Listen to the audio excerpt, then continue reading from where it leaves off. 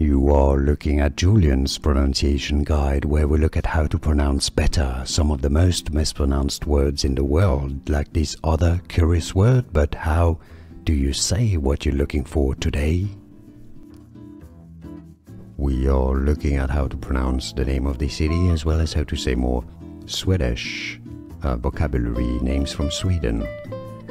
Skellefteå, Skellefteå, Skellefteå. Here are more videos on how to pronounce more confusing words and names too many mispronounced. Like this video if you found it useful, I appreciate your support. I'll see you soon and thanks for watching.